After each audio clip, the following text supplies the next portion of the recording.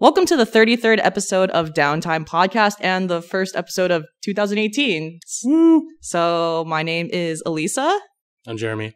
and welcome for making it this far. We said we were going to do it big in 2018, and we're actually sitting with us right now. Um, he is an award winning story supervisor, storyboard artist, writer, director. In 2015, he co directed Pixar's film Inside Out. He's also a comic book artist for Paper Biscuit. Um, is there anything that, that he hasn't done yet? so, here in front of us is Pixar's Ronnie Del Carmen. So, welcome to the podcast. Hello, Woo. thank you for having me. Uh, happy to be here. Yes, and So, what are we doing? and Happy New Year. How was your New Year's? Oh, my New Year's is always um, um, good because I'm a little conflicted about New Year's. oh, uh, okay. Yes, because my birthday is on December 31. Oh, Happy So- belated birthday. Happy belated Yes, birthday. exactly. It should be, and everyone tells me. And if I had a dollar, everyone always tells me that. Oh wait, so you have the most fun birthday because there's fireworks and everybody in the entire world is celebrating your birthday. Yeah. right. No, since I was seven years old, my birthday is uh, is kind of like an afterthought. Eventually, it's Ah. like when you're Right. little, it's like happy birthday, happy birthday, but then la- later on, it'll be like happy New Year. Oh, Oh, yeah. and happy birthday. Thanks, but you know, I'm I'm over it. I'm not bitter. Not bitter. I mean, it's it's like similar if you were like for people born around Christmas too. Yes, yes. I know it's it's not quite a, the best deal around, but you know, you make the best of it. to start off the podcast, uh, tell us a little bit about your background and where you came from and how you came to the United States. Mm, okay, so I, I grew up in the Philippines. I was born there.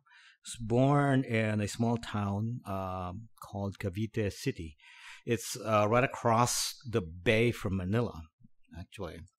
And in, in Cavite City, there was a U.S. naval base there, Sangley Point. And in Sangley Point, walled off from me, is, is the U.S. you know, battleships, an airstrip, and all that. But outside is the town I grew up in, and um, I've always loved watching cartoons, and I loved American culture. I would watch TV constantly, incessantly, and I would ape all of the things that eh, that uh, these people in the box would do, but mostly American programming. I just was obsessed with it. And uh, but I didn't think that I was going to be uh, an animator. I didn't even know what that means. I don't know how cartoons are made. I don't want to know. I just want to watch them yeah, yeah. over and over again. And then um, it, it made me want to draw, and I did. I, I like reading and drawing, so I drew constantly.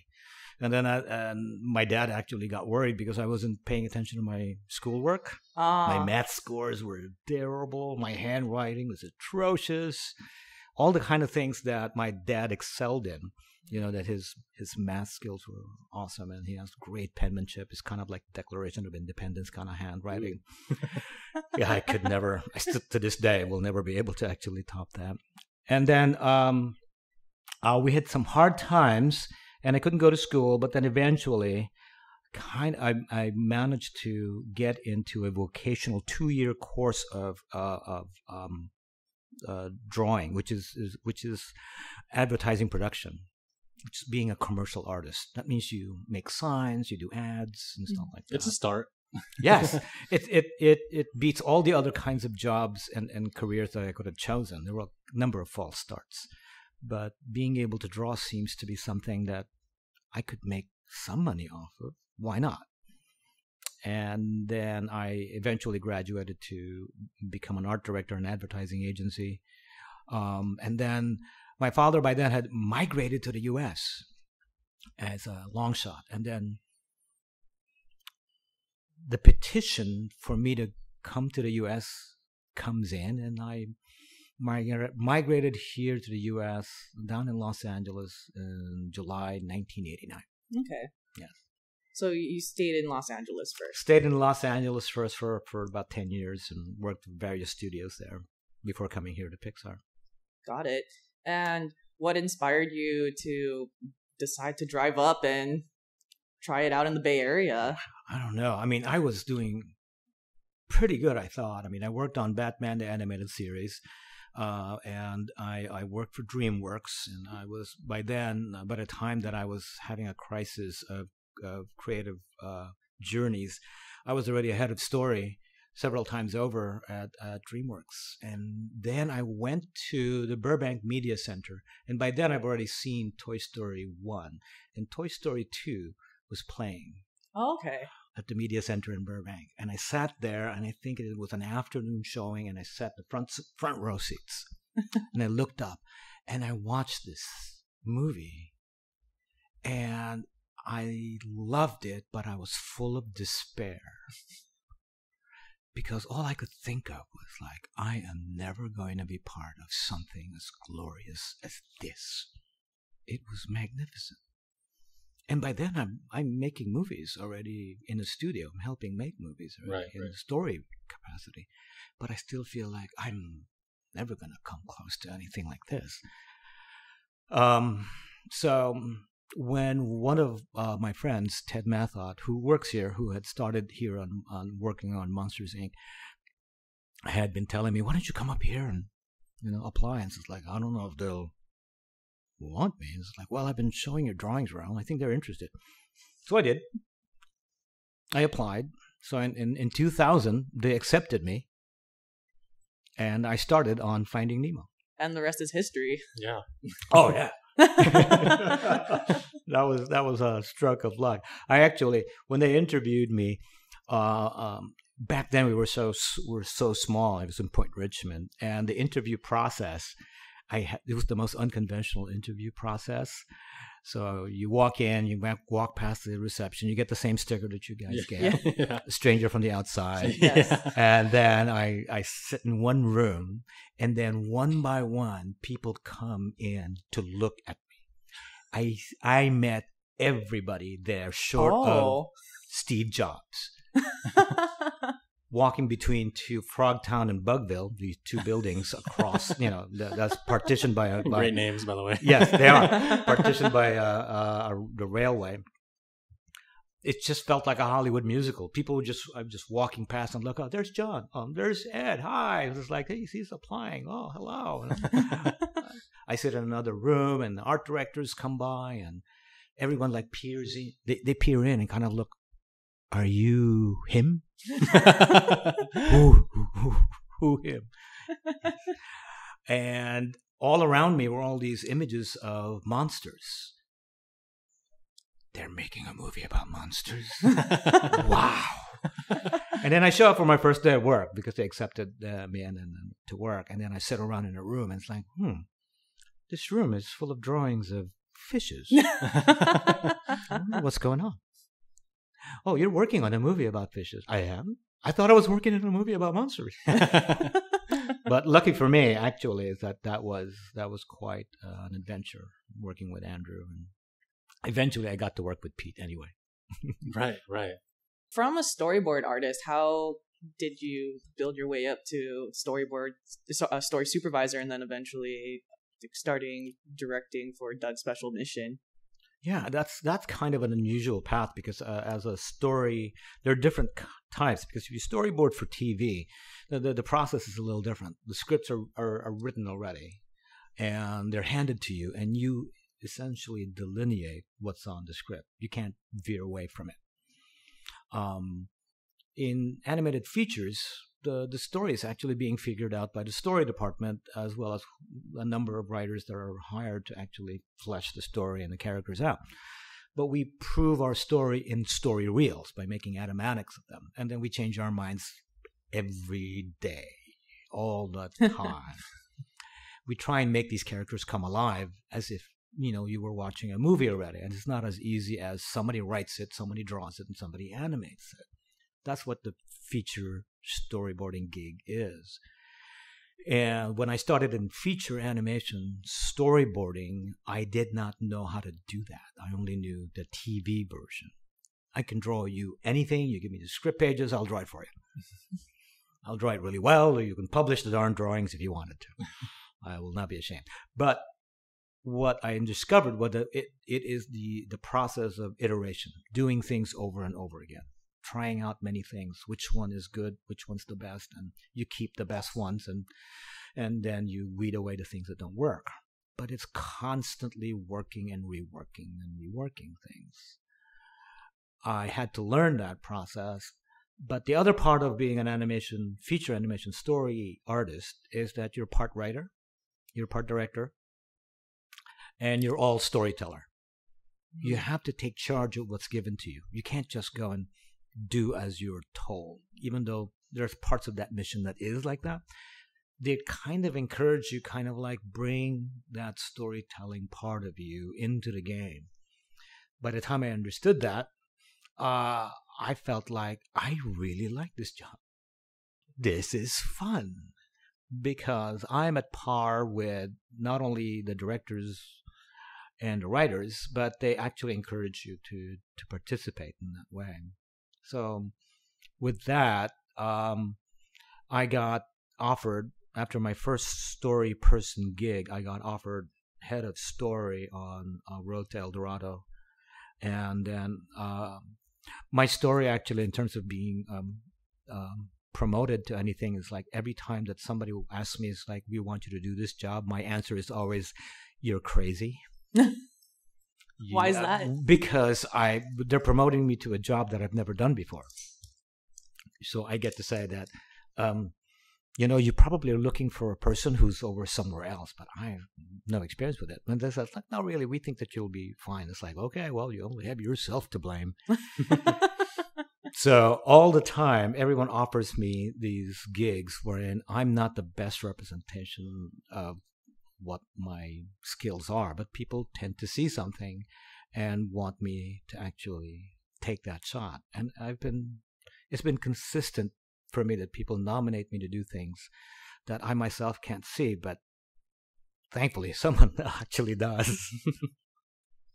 um, going back to Dug's Special Mission, Up is actually my favorite Pixar movie of all Thank time. Thank you. It's, it, it has a very dear part of my heart as well. Yeah. Um, and when I found out that you directed that, that short, I was Mhm. very, I was really enthusiastic to add all these questions for you, but I kind of wanted to narrow it down to um, how hard was it writing for Dug as a character? Not by then it wasn't hard to, to write for Dug, and because I still have around me, you know, I had Bob Peterson uh, Right. as as uh, someone who can help me because he's the voice of Dug. Yeah. That's right. And down all of that, we've worked on on the character, so we kind of know him. And uh, so it was comfortable to actually write Dug's special mission. But I also wanted to find out what happened to Dug before we met him. I was curious, and because as a storyteller, you start telling stories to yourselves about. You don't want your characters to show up on screen as if they have no history. hmm So when I deal with characters, I deal with characters who happen to have a history. We don't even have to show it on screen, but I believe they have this history. So I had the opportunity to actually flesh out Dug's history according to how I see him. And I also, uh, maybe this is going full circle. I also feel like because my birthday, nobody knows my when my birthday is. no one It's- knows about New Year's Eve. nobody knows. even in the company uh, greetings, we have a everybody gets greeted happy birthday on the email. I'm not on that list. oh, no. Oh, I didn't put my name on that list because that's how I want it, right? Yeah. But for Dug, I wanted him to be that innocent, um, childlike character who wants to tell people that, you know, today's a special day. It's it's my birthday. He's always very earnest Yeah. you Yes. know and but you don't get to find out what that is until later right um, Yeah. in terms of kind of like uh, well you, you do get to understand he's been trying to tell people that it's today is my birthday but nobody cares Yeah. Right?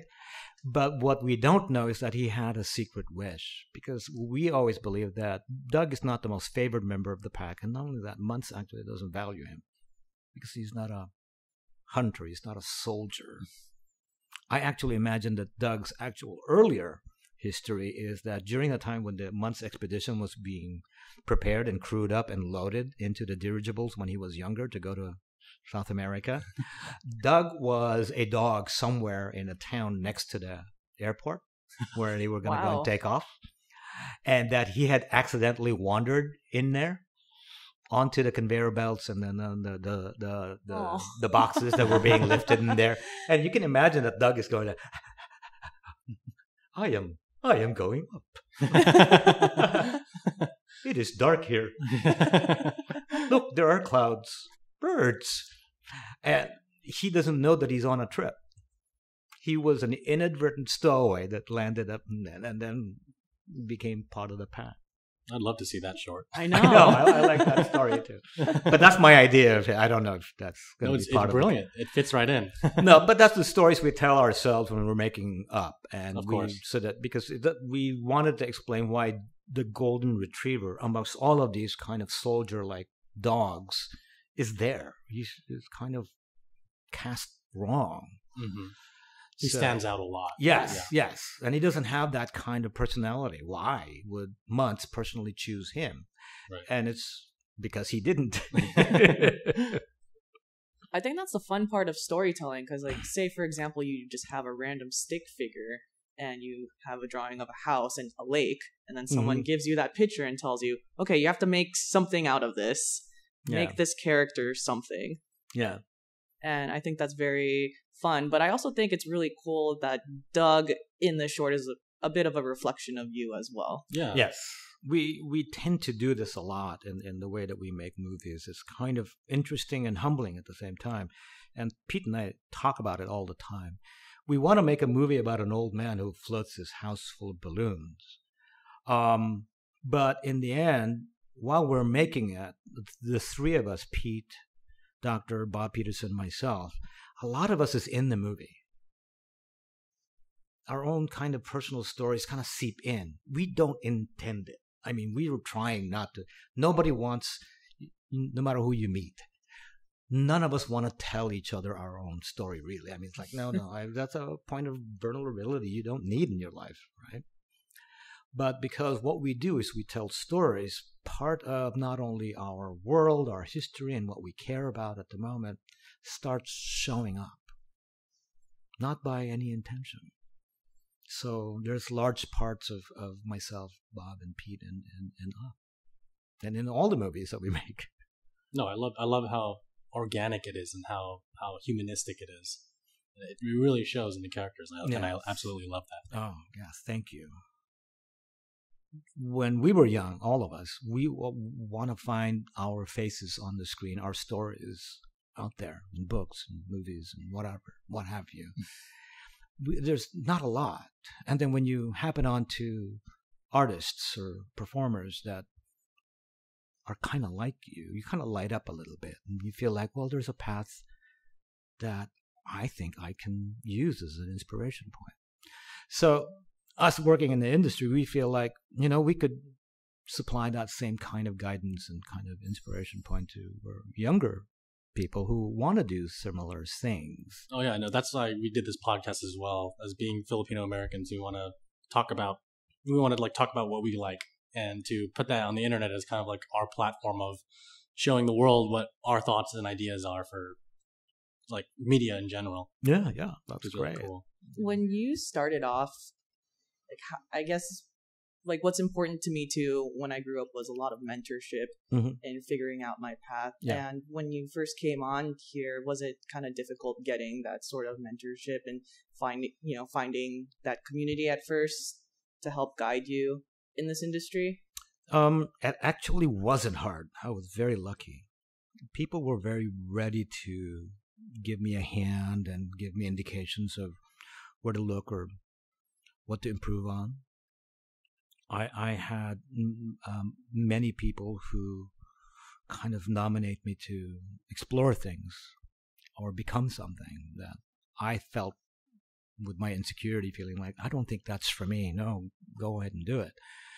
So most of the time, um, when people know that your either your work ethic or the work that you do is good, and that it's a valuable uh, part of the work that they're doing, I think that you can't help but kind of extend that gracious hand to help other people because I know that's how I am when I work with people who who are really trying hard to help you and also don't have that attitude that says i'm pretty good and i'm just helping you because i'm the best. No they nobody has that that attitude here and they all just want to be of service to lend their talents to what is this movie that they're making. And it's hard to find people who want to help you in that way that's genuine and then also who happen to be very strong at, at, the, at their craft. And I think that I've been a good kind of collaboration partner and and and um, someone to go on long journeys with. right? Not that any of those journeys are going to be easy because they're all complicated, and you also end up actually having conflict in the relationship. Mm-hmm. But once you start believing in other people, then you kind of move them along with you or move them up yourself it's, it's a great aspect of human nature to feel that if you are not threatened, you will help. I remember back in college, one of my friends, because you, you, know how sometimes college can get very competitive mm-hmm. in classes. And one of my classmates, uh, we created this study group, and everyone was just trying to help each other. And we had this one kid in the group who was definitely had better grades than most of us and but he was very willing to just make sure that we all understood it he didn't want to be like the highest grade in the class and he was saying i it's better i think if we all succeed together yeah. yes that's kind of the culture of the work that i experience here particularly at pixar is that in order to cross the finish line four or five years down the line um, the hope of the leadership of the movie us there close to the beginning of it, we want to bring in people who we want to finish this journey with. If we start, we want to cross the finish line the same. Um, in general, that works really well, you know, because this path that we chose to make movies, even though it's fun when you watch it on the screen for an hour and a half, is you laugh, you cry, you have a great time making animated features is not easy and it's particularly not easy on your emotions on your psyche uh, on your stress level. Even though we're making cartoons there's a lot at stake personally there's a lot at stake you know for the studio.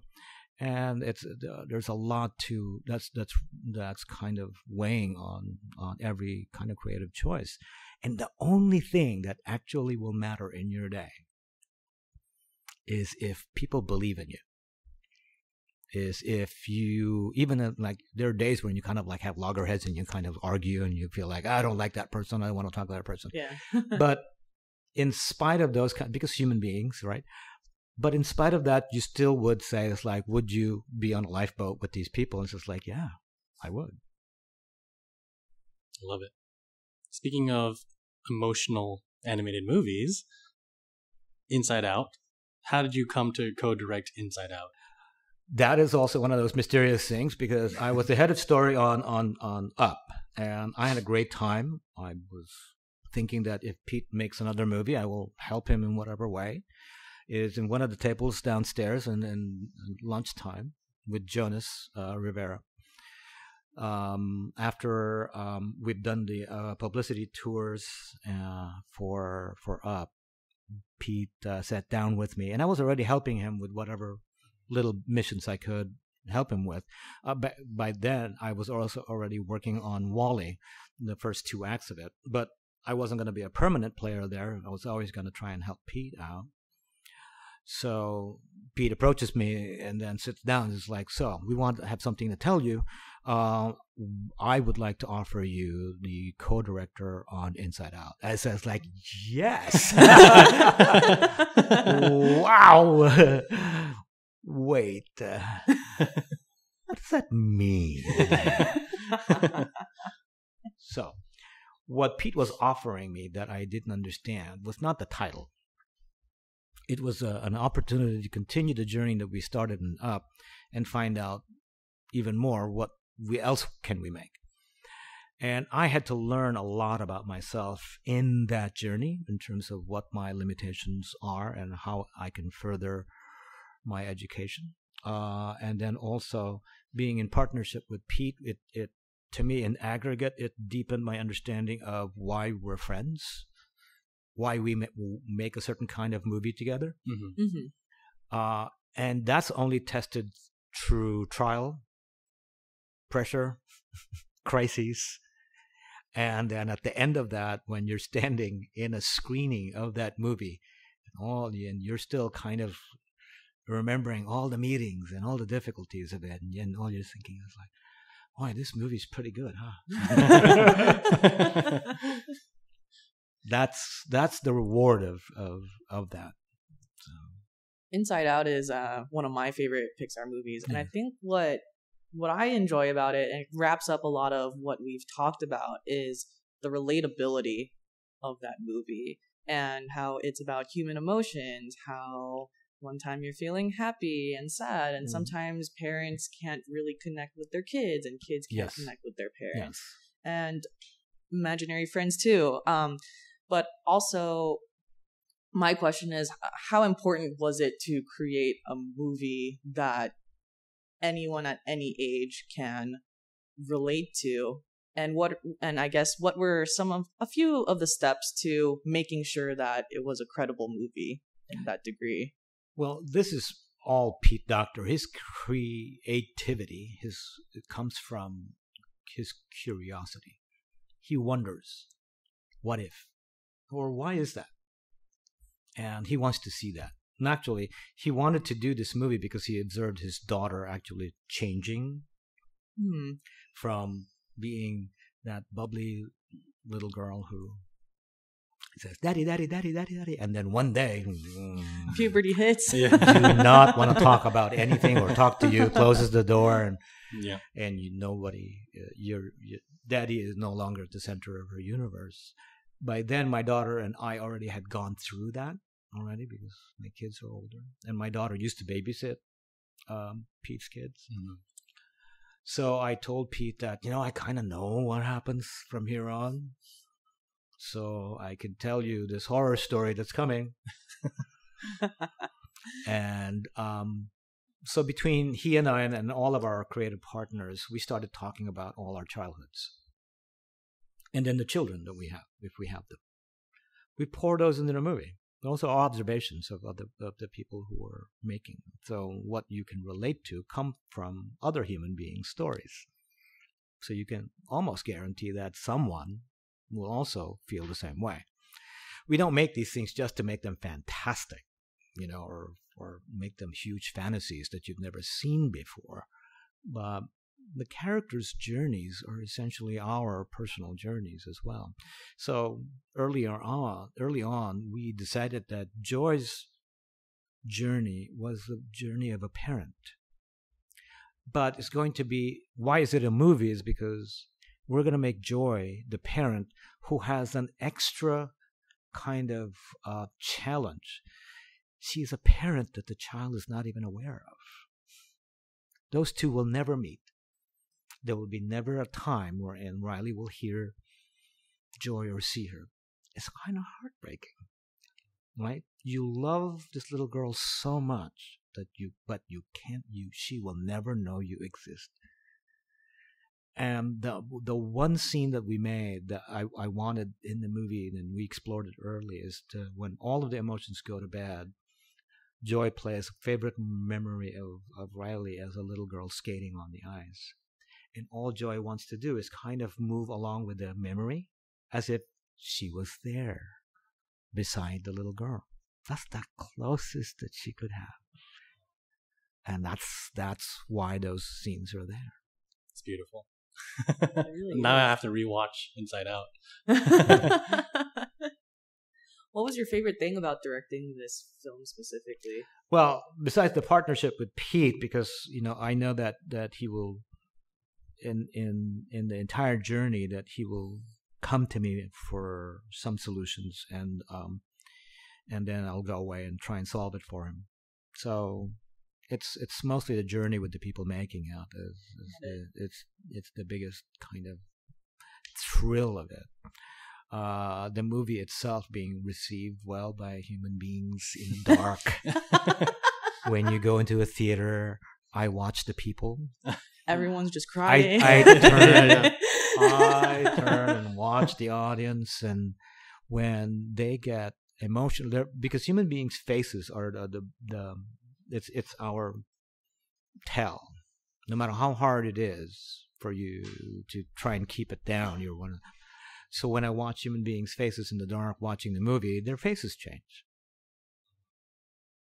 And then once they get, and even if I'm watching the back of someone's head, their their posture changes, and then after a moment, uh, silence. We even we even put some silence in the movie just so that people can have a little moment, and then you see the hand come up and wipe out a tear that's on the cheek, and then continue watching the movie. And I feel like, you know, how hard as the movie was to make and heartbreaking, that is worth it. To know that people started to relate to these characters. Absolutely. I think that's the goal of any filmmaker. and I think. um, so we're gonna move on to the last bit of our podcast. Um, I just had a really quick question. Have you ever read your Wikipedia page? Yeah, yeah, of course. I think that's at, at that point. I think you know you've made it. You're like you're famous at that point. Oh, I don't know. you can edit that and, what- and make it say whatever you want to. It's like, oh gosh. How accurate is it? Uh, I don't know which part. I think so. A fairly short entry, isn't it? Yeah, Yeah. yeah, yeah. Didn't go into too much detail. Yeah, Okay, I was Yeah. just curious if you. yeah, yeah. It's not like I'm. That did not happen at all. They didn't talk about my time when I was running a small country and being king. No, Mm, No, everything okay. there is pretty much what you got. Gotcha, gotcha. Um, do you play video games at all? Yes, they do. Oh, really? What are you Yeah. playing right now? Well, I just downloaded uh, Hellblade. Oh, nice. Oh, wow. so Very nice. um, started that, and it's fantastic.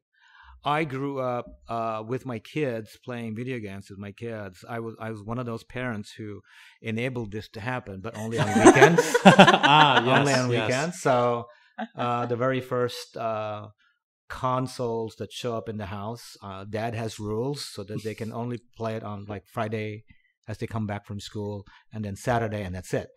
And then they complain, but Daddy, you're gonna play. yes, because it's Daddy's house. Daddy, you stay up late past bedtime. Yes, because Daddy makes the rules. Daddy's gonna stay up late and be groggy the next day at work and be useless because I'm having to finish this boss. It's terrible. So yes, I do. I do play a lot of video games. So we we I tend What- to love a lot. what console did you start off with? We started out with with, uh, with a PlayStation a long time ago, and then eventually an Xbox showed up. You know that. Um, so um, one of the very first video games that uh, I remember playing was a the Tomb Raider Two. Wow. Oh I- my god, we were, that. we were just talking and about- then there's Resident Evil Two. Oh, back then. It was, I mean, very Yeah. blocky back then. oh yeah. Uh, my son and I like horror games, so Nightmare Creatures was was one of those, and then uh, we event my daughter would play Spyro and Crash Bandicoot, so I would have Nice. my son would like these kind of more fighting games, like Final Fantasy VII was a big ruler of the Oh. house, right? Nice. and every iteration of Final Fantasy. And then, um, but the kids would always tell me, "It's like, Dad, you gotta watch me when I play." So I, when they when they play, I watch. Even to this day, as grown-ups, when they come home and they play, they set aside a space on the couch for me to sit in, so that I can just watch them play. And they're Aw. big people now. My son's thirty years old.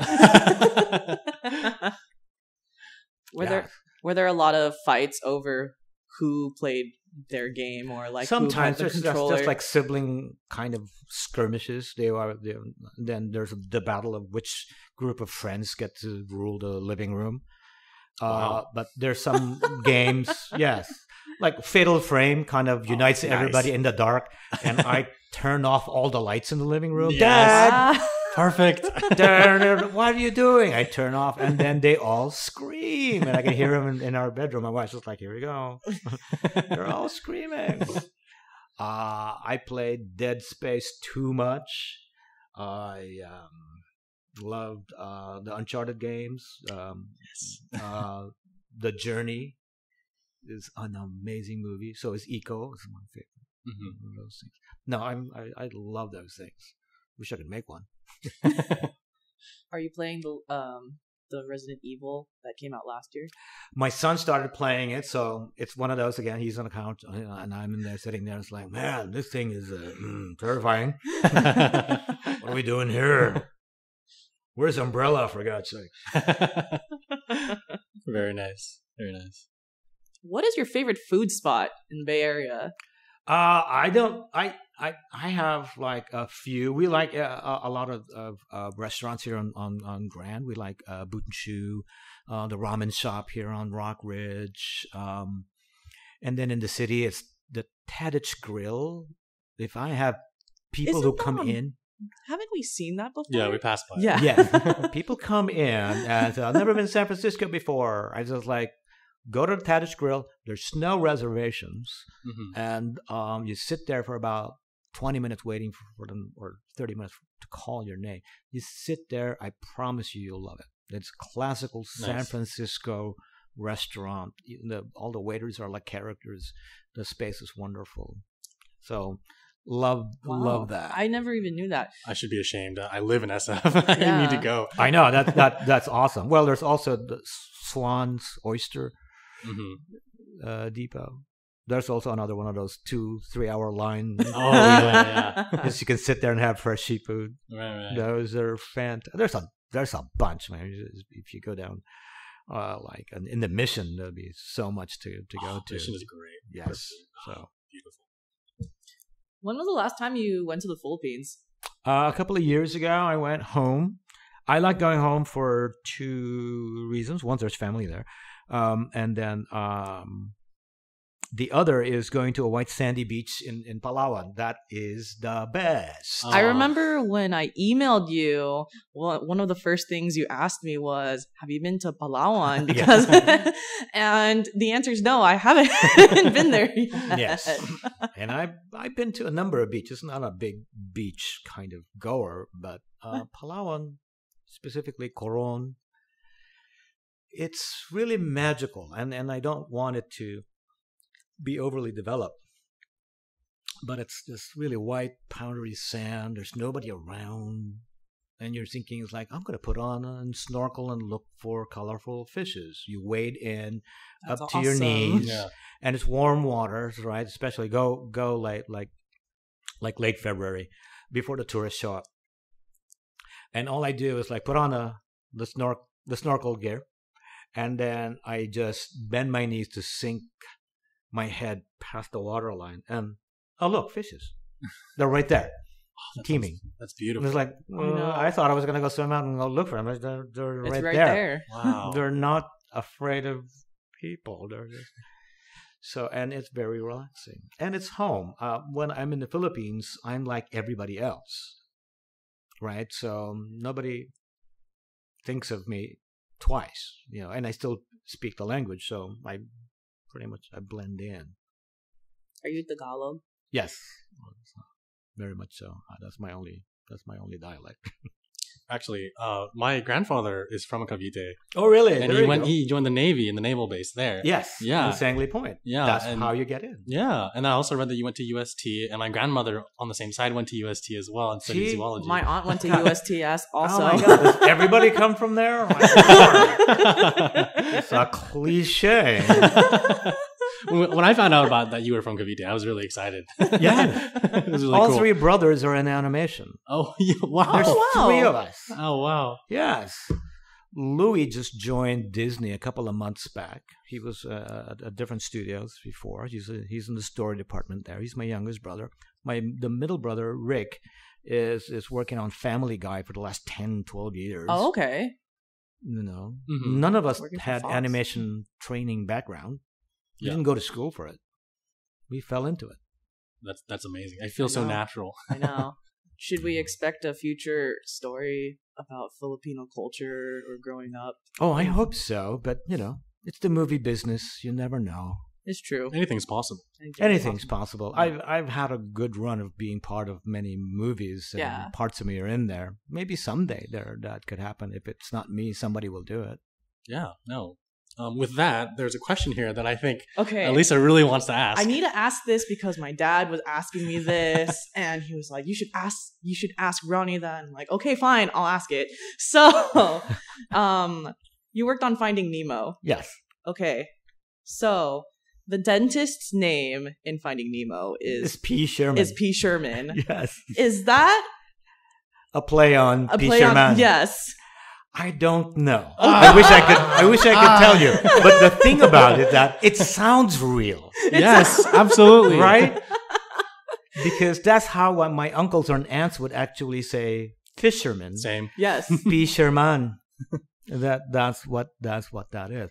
But uh, I wouldn't. I I. It's probably very true, but because I was not in the room when that got decided, because uh, a lot of the times I will be in the room when certain things like that get decided. It could have been decided in the art department where Mhm. Ricky Nierva Mhm. is, who's Filipino, right? And then there's Nelson Bohol, who's also in the art department.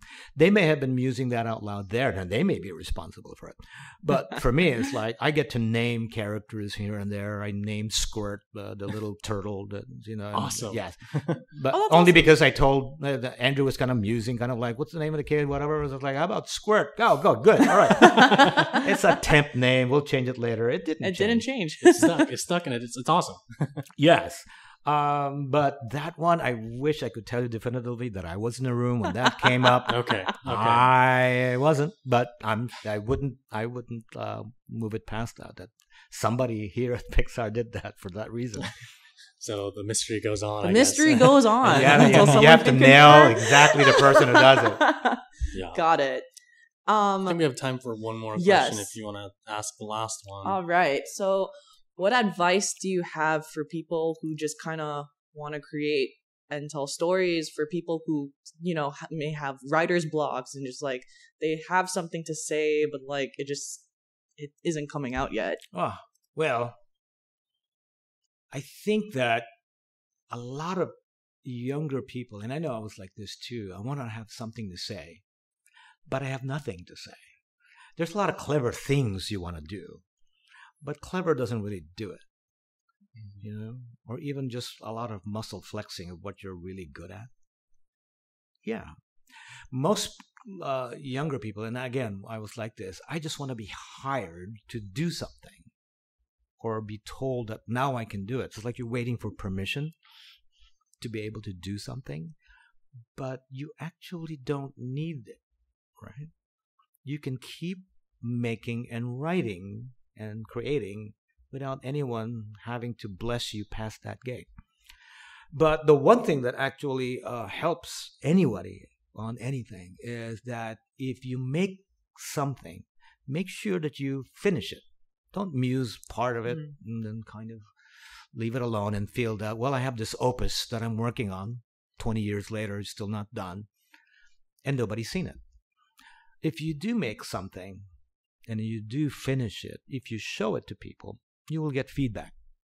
Feedback is what we do here in the studio. No matter how good you are, you need other people to look at it. And then when they look at it, they give you this help. They tell you what they see of what you're doing. And a lot of times it'll sting, or you feel like, ah, I don't really want to do that, whatever. But it gives you another way of looking at your work, and you get better. The number of times you actually make different things, not just the things that you're good at, make as many of the thing that you are interested in at whatever level of craft and finish.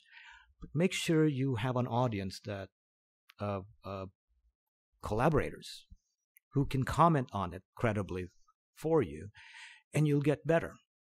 It's the most, it's the easiest university, quote unquote, kind of experience of being a creative person that's out there. And it's free. You know why it's free? Because people will tell you anyway, whether you want it or not. you know, I like this thing, but I didn't understand that. This part over here kind of sucks. And then, as much as you don't want to hear that, you need that. And if you make, remake that or do something else, you get better. Free. Right? You get better. The more product you put out there, over the course of like a number of years, you will look back on the work that you did. the thing that you do now versus the one you did five years ago is markedly better because you kept making stuff and letting people examine it. Go to that uncomfortable edge that is, and people will dream along with you. Thank you. That was very prolific. Thank you very much. Thank you. Thanks for having me. Yeah. Yes, and thank you so much for coming on the podcast too. Oh, it's my pleasure. Yeah, Yeah, no, it's been an honor talking to Yeah, you. Yeah, we were really we were really excited today. Yeah. to Oh, talk thank to you very much. I hope it's it's useful to somebody somewhere down the line. And Oh yeah, uh, That's our our listeners will hopefully take all this in and apply it to wherever they will. yes, yeah, build rocket ships to go to Mars so I can go. Looking at you, Elon Musk. Yes. All right, this has been the 33rd episode of Downtime Podcast with Alyssa and Jeremy, featuring Ronnie Del Carmen. Thank you so much again for going on the podcast. Thank you very much. You're Yes. welcome. and we'll talk to you all next week. Yep. Later.